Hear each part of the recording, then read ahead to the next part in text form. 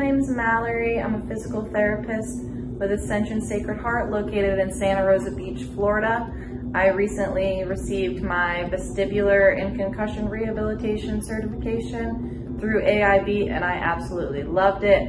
All of the instructors were amazing at the hands-on portion, so helpful, really helping us nail down our manual skills and along with the online portion and all of the information that they gave us, I will definitely be using that in my practice for a very long time.